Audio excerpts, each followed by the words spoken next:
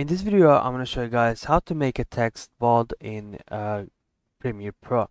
It's really easy and simple to do guys. I'm going to show you step by step how to do it.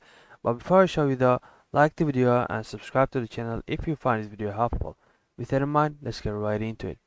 So first thing you want to do is you want to choose uh, highlight all the text and then here you want to go to essential graphics uh, tab basically if you don't see right here you want to go to window and then you want to click on essential graphics. So once you click on it the tab will appear on your screen.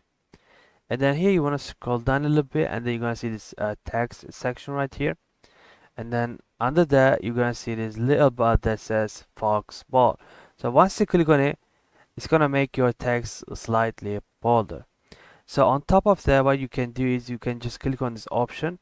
And here uh, basically uh, you're gonna see the other option for the particular font. As you guys can see for this font for example we have two options. One is bold and one is black. So when I set it to bold it's not thicker but when I set it to black it's a lot bolder.